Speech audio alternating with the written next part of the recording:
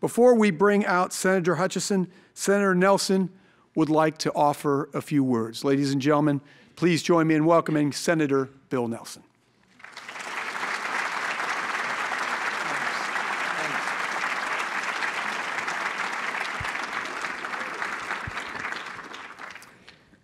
Kay and I are going to have a discussion, uh, but uh, we wanted to give you a glimpse through video of not only what has happened uh, and some very important times in the history that we're going to recount tonight, uh, particularly uh, President Johnson's influence as senator, vice president, and as president on shaping the space program, that influence still felt today. Uh, so we're going to show you two videos, and on the first video, uh, it'll be my voiceover, and these are very short. This is less than two minute videos. Uh, but I want to give you the setting. Uh, the setting is the 60th anniversary to the day of President Kennedy going to Rice University with Lyndon Johnson sitting right behind him. After the Soviets had surprised us with Sputnik and then surprised us again with the first human to orbit the Earth before we could even get Alan Shepard up in suborbit uh, Kennedy made a bold decision. Now, Johnson had prepared a lot of the ground because, as majority leader, he had uh, really shaped the future by passing in 1958 the NASA uh, bill that set up NASA. And of course, uh, Johnson was quite concerned what the Soviets were doing. He was all over that. But it took Kennedy to make that clarion call that we are going to the moon and return safely before the end of the decade. He did that after Alan Shepard had flown. We were way behind. The Soviets had the high ground, and Kennedy made this decision before we ever put John Glenn into orbit. And this was in the spring of 1961, after Gagarin had flown. By the way, I'll tell you a secret that is now no longer secret, but it was a secret because the Soviets kept it a secret. A successful space flight was to orbit and then to land. But the Soviets were afraid we were going to beat them. They went ahead and launched a Herculean effort, Gagarin into one orbit, but he didn't land. He bailed out. But they kept that a secret. Uh, a few months later, they put German Titov into 10 orbits. And likewise, they still couldn't land. Uh, and it was later on that they got the ability where they would have retro rockets as the spacecraft was coming down in a parachute. Uh, and then the retro rockets would ignite and, and soften the landing, uh, a procedure that they still use to this day. So Kennedy makes the bold declaration we've only gone into low Earth orbit touching it and coming down without going into orbit with Alan Shepard. And he makes this decision. He goes in front of a, a joint session of Congress and uh, he makes the declaration. And it gets some attention, but it doesn't really resonate. It doesn't resonate until the following spring, 1962, when John Glenn shimmies into that little spacecraft on top of the Atlas rocket, knowing that there was a 20% chance that that rocket was going to blow up. And of course, the rest is history. And America went nuts. And so Kennedy makes the decision to again issue this clarion call. He goes to Rice University Stadium in September of 62. And he makes this bold declaration we go to the moon and do other things, not because it's easy, but because it's hard. And that became a mantra of our space program. And of course, as we, Kay and I, discussed tonight, we'll talk about how it was Johnson that not only as senator that started all of this, but then as vice president, I'll tell you some of the sneaky things he did, taking, uh, taking a lot of the activity away from Cape Canaveral. As Senator George Smathers of Florida said, I turned around and half of it was already taken by Lyndon. and then, of course, uh, as president, where he pushed it. And before he left office, fortunately, he was able to see us orbit the moon, not land, on Apollo 8 at Christmas 1968, just before he retired as president. So I want you to have a flavor of that beginning, and then I want you to see a, a two minute clip on where we're going in 2024.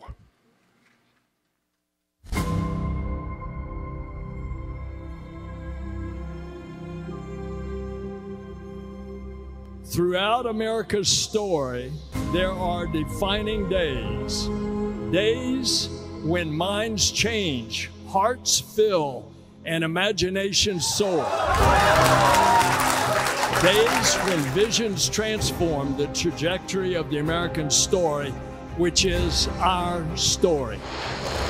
Doing what is hard and achieving what is great that is what stirs humankind. That's what unites us. With inspiration and innovation, no Herculean effort is too large. No moonshot is beyond our reach. And liftoff of Artemis 1. A new generation, the Artemis generation, stands ready. Ready to return humanity to the moon and then to take us further than ever before to Mars.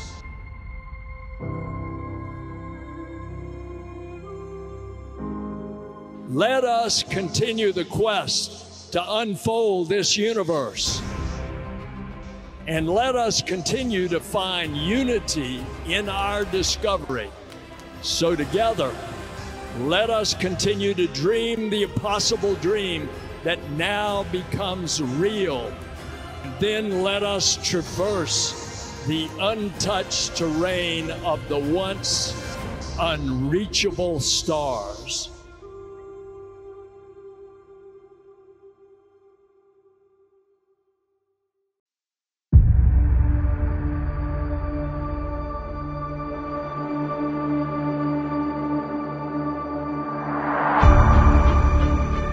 It's a new day in space exploration. As we sail on this new cosmic sea, there's so much to learn. There's so much to be excited about. American companies will soon land payloads on the moon for the first time. These missions are really challenging and risky. They're going to help us conduct new science. Artemis is different from anything humanity has ever embarked on before. And we will discover life saving, earth changing science and technology along the way.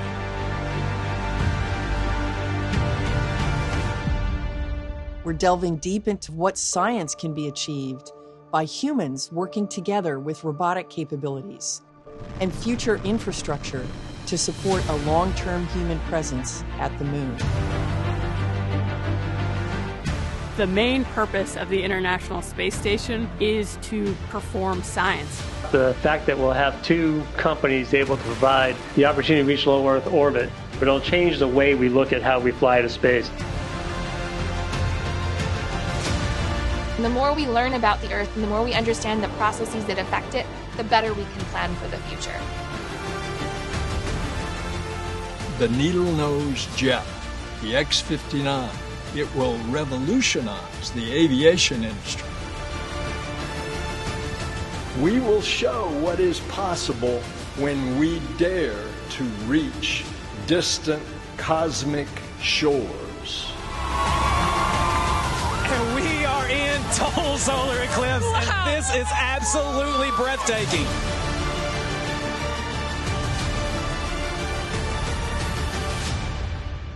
Onward and upward.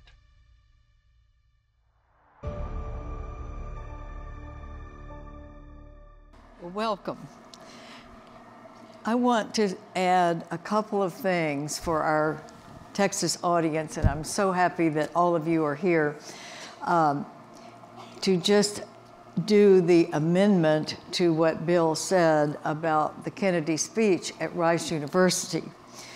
Because what he said in full was, why do we want to send men into space? Why does Rice play Texas? Not because it is easy, because it is hard. That was the quote, which we all know. so um, I, I want to say before we start that Bill and I are soul brothers. When he was the senator from Florida, and I was, of course, the senator from Texas, um, we just bonded over NASA. And there were a lot of people that said, you know, it's time for us to just stop the shuttles, end the shuttles, and really we ought to go full private and just end NASA. That's really where we were. And Bill and I felt that the it was important to have the private sector for the investment and the creativity. But we knew that the basis had to be NASA. It had to be the people who had built the, the first space stations and the people who knew that background to work with the private sector and that that would be the best result. And that was the, the result was the NASA Reform Act that uh, Bill and I co-sponsored and passed. And I think that now that Bill was appointed uh, administrator, that was a perfect choice. And I know that um, you called me, I was in Brussels, and you called me and you said, uh, the president has called me himself and said, you have to do this. And of course, it was probably your dream, I would say. What I would turned say? him down. Well, so how did we end up where we are?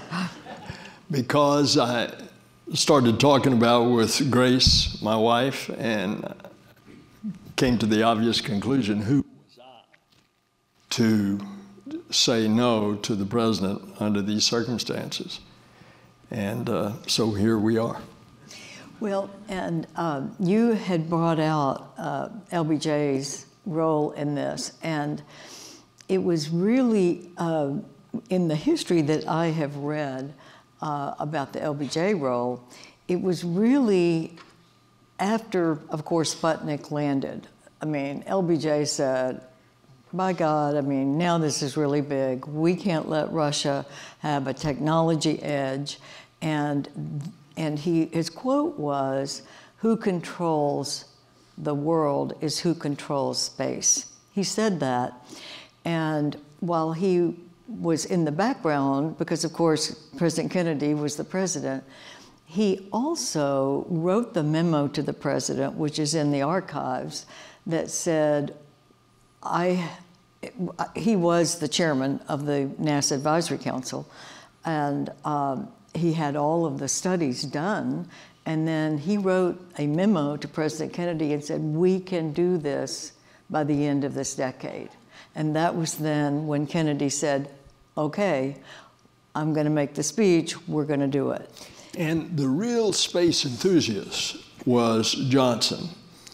Kennedy realized the strategic goal of we could not let the Soviets master the high ground. Uh, and he looked at it as a space race. By the way, not unlike we've got another space race today. We've got a space race with China. Now, we should be landing on the moon before them, uh, but uh, they've got a very aggressive program in their budget. They've got a lot of room to grow. And of course, we're dealing with budgets uh, in a very tumultuous time that the Congress cannot even pass an appropriations bill for this existing fiscal year. And, uh, and, and, but Kennedy understood that America needed a, a higher calling, a purpose. And uh, that's when he came upon it. It's interesting as Johnson then was what you said, the chairman of the, they created the National Space Council, uh, an arm of the White House. But he was not a Johnny come lately. He had done all these things back in the 50s when he was the majority leader, the master of the Senate, appointed himself chairman of a newly created committee on space. And the result of that was the NASA bill that set up NASA. And, uh, and then uh, as he became president, he implemented it. But interestingly, he always gave Kennedy credit for having had that vision of going to the moon by the end of the decade and return safely.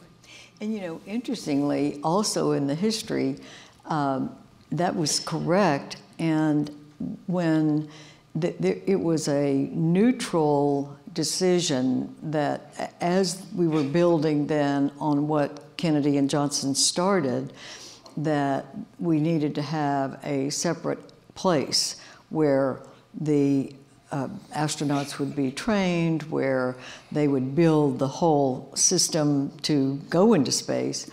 And for all of the different factors, the Houston uh, area was chosen, Clear Lake, and um, and Johnson died before that got started, and it was Lloyd Bentsen who then introduced the bill to name it Johnson Space Center. It was actually dedicated while he was still alive, but it was called the Manned Spaceflight right. Center. And then you're telling me what I didn't know that uh, Senator Bentsen is the one that named it. Changed the name. Changed the name. That's right. And, and, and Johnson was so. already dead. Mm-hmm. Appropriately so. Yes, right. Because he knew everything that Johnson had done yeah. in the Senate because they had been serving together all those years. So um, I'm so glad that we can talk about that here because that, that history wasn't really known. I want to talk about one other thing in history that you and I uh, did, and that was when we were working on uh, the end of the shuttle systems, and there was, uh, we were at the end, but there was what was called an alternate in case we had lost one that was still available. And Dr. Sam Ting came to Bill and myself and the committee and said, I have to have the alpha magnetic spectrometer. He was, he was a Nobel Prize winner in physics, Dr. Ting, at MIT. And he said, This is the genesis of the study of dark matter that I want to make. And so we have to have the extra shuttle to take up the alpha magnetic spectrometer was, was a huge capturing of all the, the dark matter pings that were out of the space station. And so Bill and I, you can tell this story uh, as well, said we're going to do this. And we jointly uh, went to NASA and said, we have to have the extra shuttle. And there was a lot of hesitance because no one really thought the shuttles would still be safe. It, they were aging, all of that. But you were really the one that, that talked them into that. talk Well, about I, that. I want to brag on uh, Kay a little bit. Uh, No, no, you really did this. You did.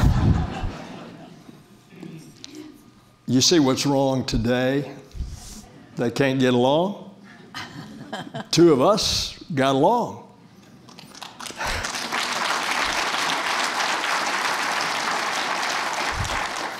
Kay would be chairman, and then I'd be chairman, depending on whose party was in the majority.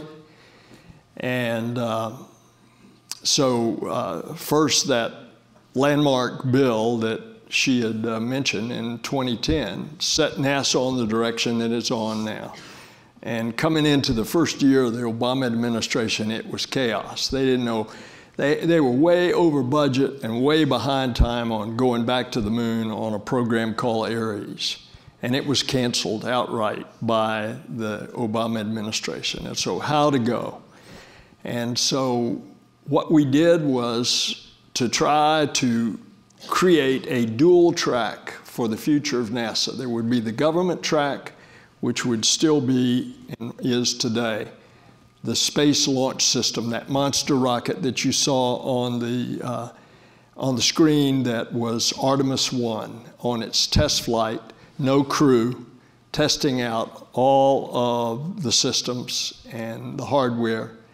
Uh, that crew, by the way, we just announced yesterday there was going to be another delay. There's a crew of four that we have named three F 18 pilots and an engineer.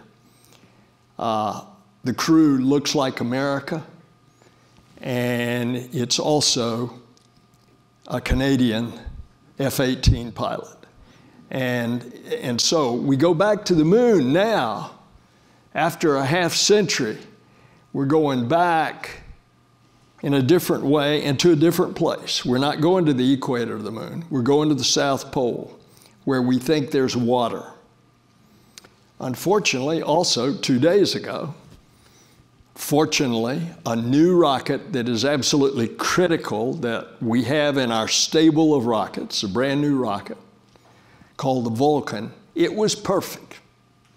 But the spacecraft, the Peregrine commercial lander, had a valve problem and it's lost.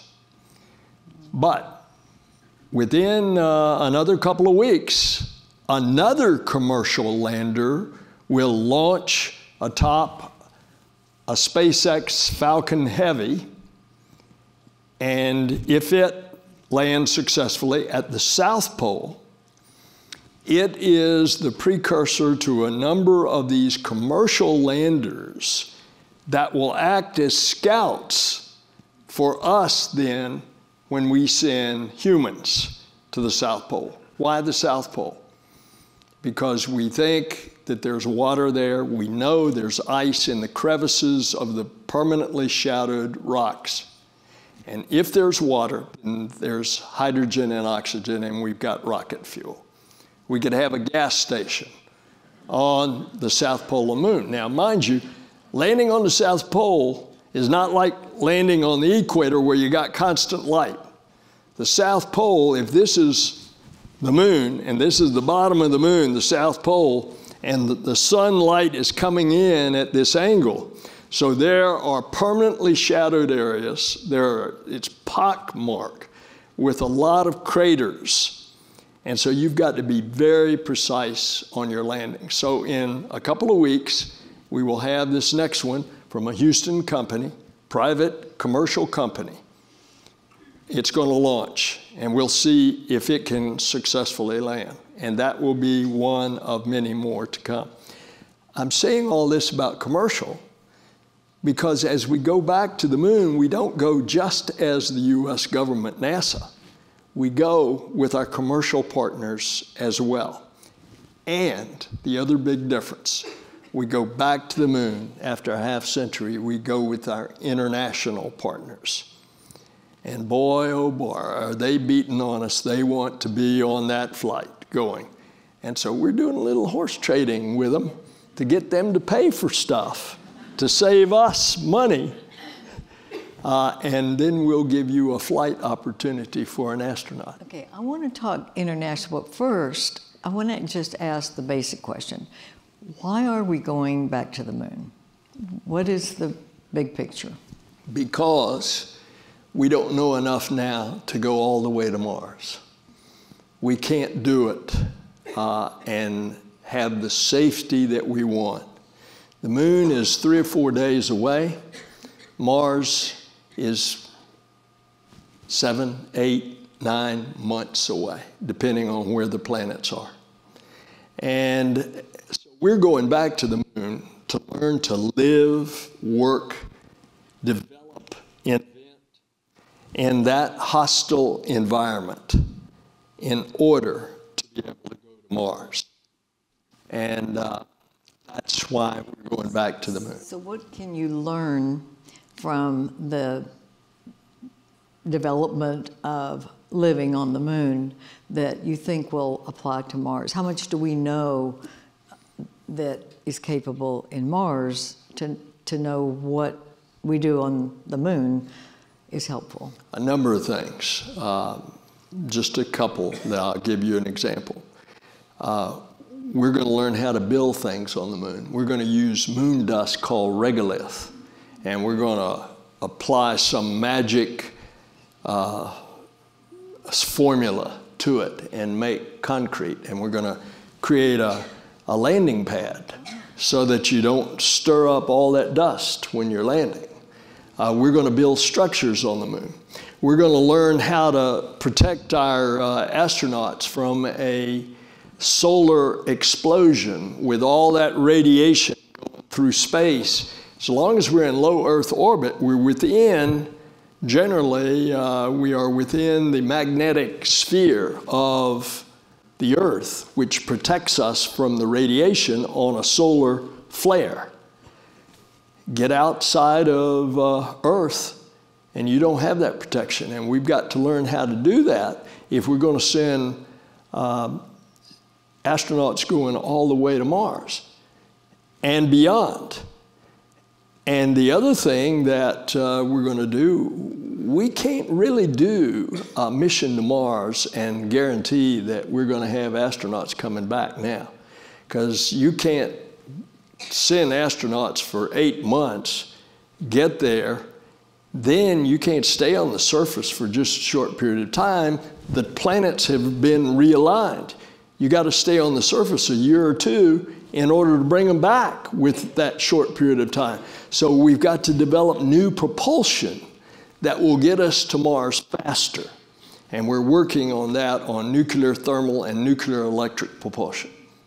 You know, one thing, again, for uh, this group here is that one of the members of our NASA Advisory Council, which Bill has appointed, is an expert in hydrogen propulsion, and he is the uh, Ernest Cockrell Chair in the Department of Engineering of the University of Texas. And uh, he, J, Dr. J.P. Clarke. So remember that name because he is a real star here at UT and um, is the chair of one of the committees on the advisory council on getting there faster, exactly as you have said. That's the priority. I want to brag on you some more. Um, so, by the way, I invited Dr. Clarke to come tonight, but he's out of town. Was, he was really sorry to miss you.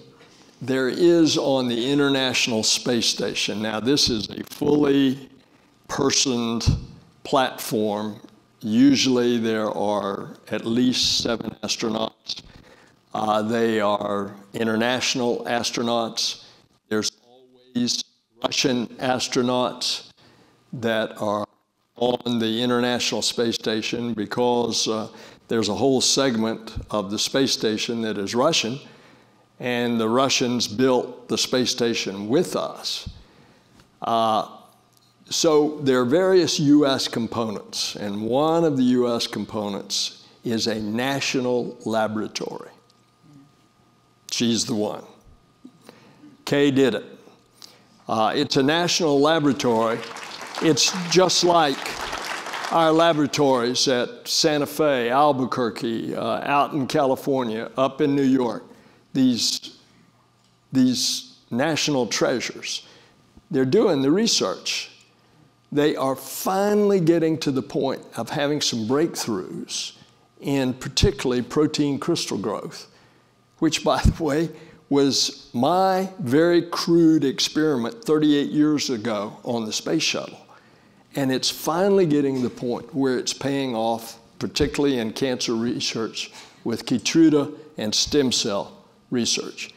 Uh, so Kay is the one that insisted on the NASA bill at some point uh, that it was going to be a designated national lab. That's where most of the science is being conducted on the International Space that Station. was really exciting because uh, the cancer research is very different in space from here. And you can only see certain growths of cancer cells in space that you can't see in our gravity.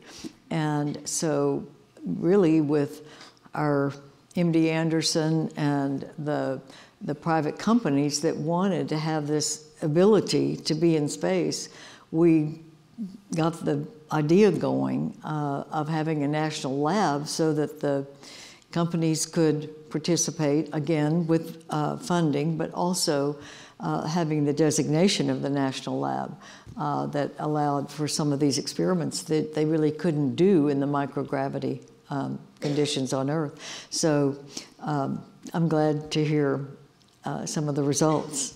And, and speaking of results, Dr. Ting's result uh, from the alpha magnetic spectrometer, he said it is groundbreaking in the dark matter potential source of energy. And, um, you know, I went to the Johnson Space Center with him once, just a few years ago, and, uh, you know, I'm looking at this big screen that's really just a big screen with little lights kind of out there, black screen, little lights, and he, he acted like he was in church. I mean, he was so excited looking at all these little things and trying to tell me how important this was. And I'm going, you know, whatever you say, I know that's going to be right. But it was really fun to see his excitement. Uh, interestingly, uh, just to show you how all of this comes together, we've got up there a million miles from Earth the James Webb Space Telescope. Oh, this God. is in a position that it's always on the opposite side of the earth from the sun, and it's always looking out into the dark of space. And therefore, 365 days, as the earth goes around the sun, it will scan all of the heavens. We are learning so much as this telescope in the infrared spectrum looks back even as far in time as to about 300 million years after the very beginning. And the very beginning, named by a NASA scientist who got the Nobel Prize, is 13.8 billion years. So now think about this. The telescope is capturing light that has been traveling at the speed of light 186,000 miles per second, and that light has been traveling for 13 and a half billion years. That's a long distance. and it's, it's opened so many understandings that we did not have of the universe. I'm bringing this up to tie it back in to dark matter. With the telescope, we are learning about dark matter as well, along with Dr. Ting's uh, instrument that is attached to the International Space Station. And uh, sooner or later, they're going to figure it out. Well, uh, Dr. Ting came to the uh, Texas Academy of Science, Engineering, and Medicine and made a presentation. Uh, probably, we we have a 20th anniversary of the, the Texas Academy. And he came about maybe 10 years ago, and he said the most important thing about this kind of research is not what you get that you were looking for, it's all the things you get that you weren't looking for. And, and he named some of the, like the uh, the use of the MRIs. I mean, the MRIs was an offshoot of where, what the original purpose of going into space was. And so all of this medical uh, research and productivity is the offshoot. It wasn't the purpose. And, um, and he made a great talk to our members of our Texas Academy, which are all members of the National Academies of Science, Engineering, and Medicine. And um, it, it, he was just a wonderful advocate for the things we're doing. But I want to go back, I want you to go back to what the, it was astounding about that the telescope that finally got out there and saw this. What else has come out of that? I mean, is it have there been other civilizations that have come and gone? What what do we know so far? Well, one of our purposes is to look for life. Now, it's not true that I have discovered an alien civilization in the Amazon rainforest. However, when you think about how big the universe is and how many stars or suns there are out there, not just billions in our galaxy, which is the Milky Way galaxy, but there are billions of galaxies with billions of stars each. And so, one of the things with the telescope, followed up first by the Hubble Space Telescope, which is orbiting the Earth. James Webb is out there in a fixed, neutrally buoyant point a million miles away. Uh, is the fact that we're discovering other planets that are revolving around other suns or stars. Uh, they call them exoplanets.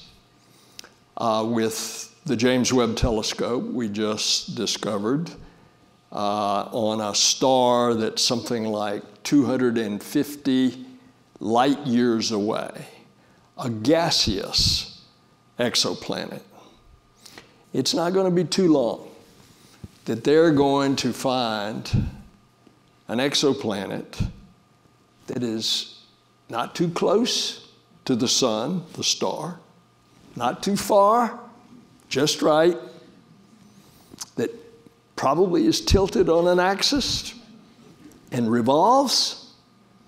And oh, by the way, that they can sniff, they can find these chemical elements carbon and water. You get that, you've got the elements for life. So that's one of the ways that we're looking for life. That's why we're digging on Mars right now. We've got 40 titanium tubes about the size of a cigar filled with cores that we've drilled with that rover up there, which, by the way, has a scout the little helicopter that flies on Mars. It's flying, by the way. We didn't know if we could do this. This was just to see if we could do it in a 1% atmosphere. We have a 100% atmosphere on Earth. It's a 1% atmosphere, and they designed a helicopter and blades that has now flown over 60 times. And it has become a scout for the rover as it goes, checks out something. So these 40 tubes are up there. We're trying to figure out within the budget constraints how to get them back. That's another part of looking for life. Another example, looking for life. So we snuck up next to an asteroid. And it had an arm of the spacecraft came out and it had a gas pressure hit it that sucked up a bunch of the stuff. And all of that was put in a capsule, and miraculously, you saw it land on the Utah desert. It landed conveniently about 10 yards from the side of a road. Uh, and they now have it at the Johnson Space Center in Houston. Interestingly, two bolts they couldn't get open. All the material, they had all this extra material that was far in excess that we were looking for today on the outside. Well, yesterday, they got the two bolts off. And this was a complicated procedure because they didn't want to contaminate yeah. the stuff inside. And so now we've got this plethora of material that, again, we are examining. You remember also the asteroid, uh, asteroid that uh, we wanted to demonstrate if we found a killer asteroid that's coming for us, like the movie Don't Look Up, uh, Armageddon, whatever. Well, we sent a spacecraft after it. We intercepted it at its closest place to Earth, which was seven million miles away. This is a couple of years ago. We hit it at 14,000 miles an hour, and we wanted to see if we could move it. And then, with our telescopes, we confirmed that we not only moved it, we changed its trajectory. So now we know if we find something that we're afraid is going to hit us, hopefully to avoid the fate of the dinosaurs, which were hit by an asteroid that was six miles in diameter, uh, then maybe we might have a chance to save us uh, if we could get it far enough away and know that it's coming, and then we could get a spacecraft there and ram it. So these are all the things. These are just some of the things that are going on. I haven't talked about what we're doing about climate. All those instruments up there, they're measuring what is happening to the earth. So, for example, we put up a, uh, an instrument uh, that is measuring the elevation of fresh water for the first time. We, we could measure the elevation of the oceans. But now, lakes, rivers, streams, reservoirs, we can do that from space. We are just putting up with the Indians a instrument that is going to help us understanding what is the shifting that's going on on the earth's surface, the land, the ice, all of this going into a compendium of information to give us a 3D comprehensive understanding of what is happening to our earth so that we can be better stewards of the earth and its climate and save our earth.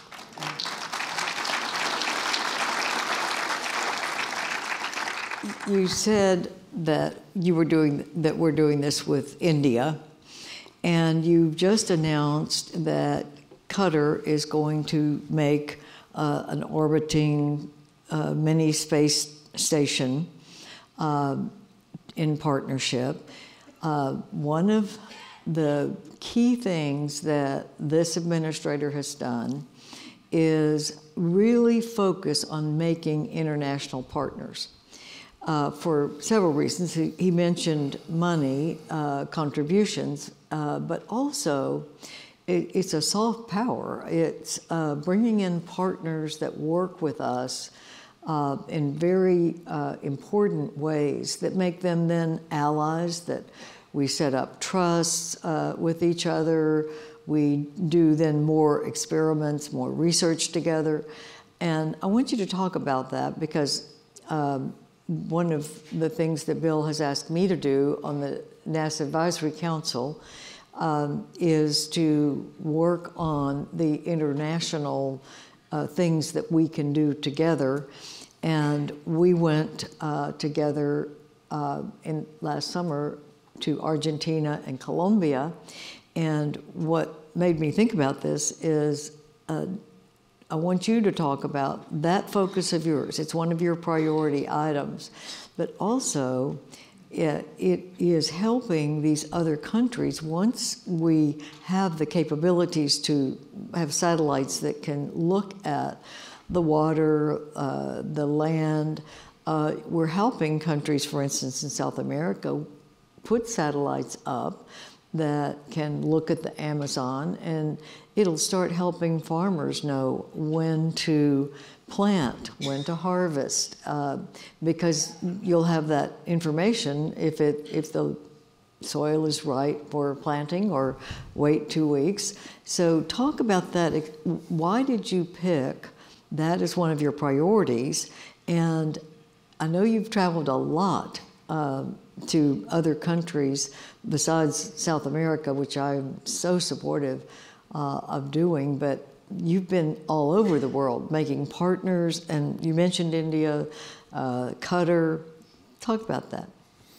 Well, Kay was with us on that trip, which we have not had uh, members of the NASA Advisory Council go. And uh, she not only was a great addition, but she was a unique addition because when we're sitting with a left leaning president in Colombia, President Petro, and he's very blase coming in.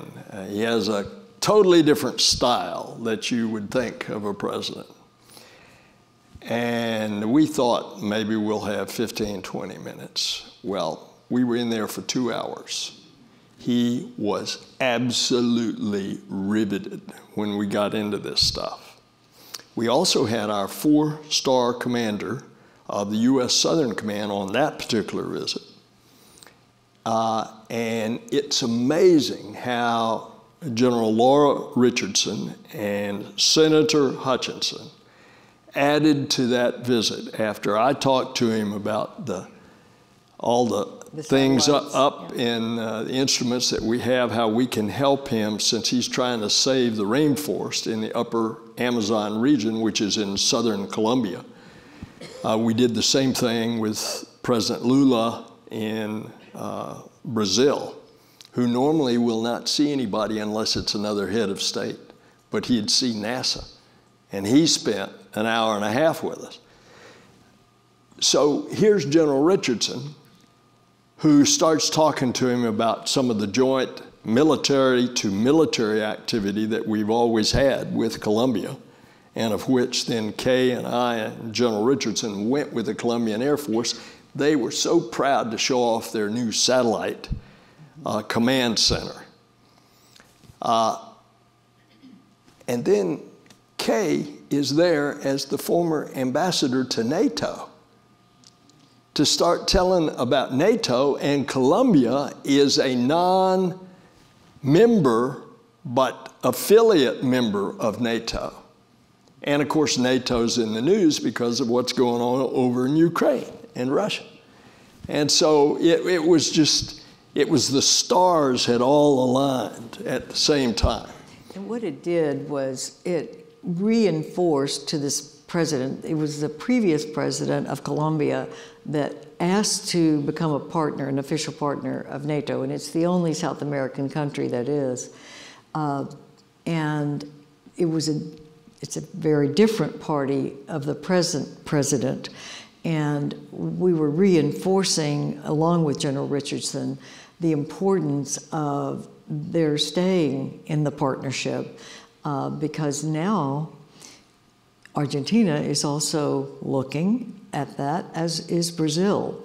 And that would be a value added for America to have, uh, and Canada is very supportive of this as well, to have more partners of NATO in South America where we can start working with their militaries to uh, train and do joint exercises to show uh, the importance of uh, a military that is positive and um, honest and well trained and can do joint activities. And so they will become more uh, with us. And uh, because we were in Argentina, uh, the Amer American ambassador asked us to talk about NATO, and we did. And now, with the new president of Argentina, it's going to be uh, something that will be put on the table. It's not at all a done deal, but that could be a real beginning of security for America because China is all over South America. They are in infrastructure, they're uh, very active in Argentina and Colombia, as we uh, noticed, also Brazil. And so planting our flag uh, was very, very important. And I think that uh, what you're doing is going to other countries in South America with showing how the satellites and, and partnering on the satellites uh, can be helpful uh, in the rural areas. But you've also been to other countries, like you're making Yeah. a partnership in One of the rural areas, remember, uh, the last stop that we had was in Cali, Colombia. And we have a, we, NASA, have a joint project with USAID. And it is basically to help poor farmers be able to get better production from their land by giving them the information that we get from our satellites. For example, we can tell them what the moisture content of their soil is. We can predict droughts. Uh, we can tell them these things so that they'll know whether or not they need to go ahead and irrigate. Uh, this information is unbelievable and is now available to you real time on either nasa.gov and then on that website look at the Earth Information Center or you can go to earth.gov and you can get the same information and more. It's really amazing. Okay, uh, there's, I know we're going to be running short on time, but the other major area I think we need to talk about is security and the technology, the satellites, um, and something that I didn't realize until I really started getting back into it is one of the big problems with space debris. Um, you know, we've had to adjust the space station because uh, of space debris. You're doing something very, very important with the Artemis Accords. Talk about that to try to bring people into you, what you're trying to do that I see is you're trying to bring partners in uh, so that we share and we have more in the more global leadership, but with with so many other countries. But also, uh, you are trying to to help everyone in this new paradigm of space uh, be responsible partners. And at NATO, uh, we declared space as a domain of war, meaning that we now are uh, going to be looking at the capabilities of, you know, we have satellite guided missile systems already, but now we need to know where China is, Russia is, and uh, I think it's important that what you're doing on let's all be good neighbors in space um, and report when we put satellites up, report when we're going to dismantle them, make sure that we don't put blow them up. Talk about that. NASA brings people together. NASA brings about unity. Certainly, in the spirit of Lyndon Johnson, as one of his famous speeches, uh, he even uh, said, as the, as the good book says, Come, let us reason together. So, domestically, NASA brings people together. R's and D's both support our civilian space program. They're a little hard headed when it comes to the budget, but that's a side matter because they can't get it together because of other issues. Internationally, that's true as well, and that's what Kay is talking about. Uh, NASA is a way that uh, people can come together in unity. Look, we're in the middle of a war basically with Russia over Ukraine. Not up there. We built the space station together with the Russians. Uh, we flew, they had the first space station. It was called Mir. And they invited us to bring our space shuttle and dock. Uh, and then we built this space station together. We're still together. The astronauts and the cosmonauts, they're very professional and they don't miss a, a beat. And is there always one of each on yes. the shuttles? Yes, and that's also why we also we send integrated crews up. We always have an American astronaut going up on the Soyuz, and we always have a Russian cosmonaut that's going up on the SpaceX Dragon, which is the commercial spacecraft that is delivering crew for us to the International Space Station. So NASA brings people together, and that's what we've been doing a lot of this traveling, uh, trying to utilize that. And it's actually become a, a, tool of U.S. foreign policy, our soft power. Uh, and so Tell us about the Artemis Accords. Okay, the Accords people... basically are a common sense set of principles that follow up on the Space Treaty. By the way, that's another Lyndon Johnson. That was somewhere around 1967 when he was president. And he oversaw the passage of the Space Treaty. Uh, it was ratified by the Senate and it is a declaration of the peaceful uses of space. The Artemis Accords, named after Artemis, the twin sister of Apollo, which is the name of the program that is taking us back to the moon and on to Mars.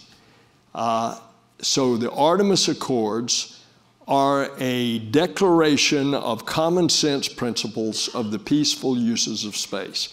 And thus far, we have about 33 countries that have signed, it, and there will be a lot more. Mm-hmm. we're out of time, and I want to end by giving you a book that everyone here knows I'm an orange and white bleeder. And one of our past chancellors of the University of Texas system was Hans Mark. He was a deputy administrator of NASA. He was. One he, smart guy. Oh, he was awesome. He was so interesting. And he talked about all, he talked about in this book that Hans Mark wrote, The Space Station, A Personal Journey. And he talks about a lot of the inside things that went on that is the history of our NASA efforts and his role in it. He became Secretary of the Air Force after he left NASA. I mean, he, he was at Ames and then NASA and then Secretary of the Air Force, and he was so interesting and loved UT. He, he stayed in Austin until he passed away. And he gave me this book in 1987 because you know, I was just uh, active for, that was before I even went to the Senate. But this needs to be in your library, in the NASA library. Was 1987 when you were a cheerleader at UT? No.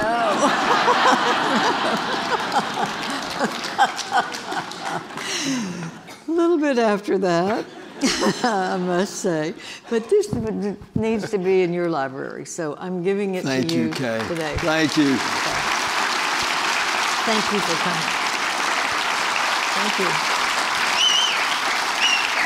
Thank you. Thanks. This is the end of the program, and thank you for coming and giving us all of these insights. Thanks, guys. Appreciate it.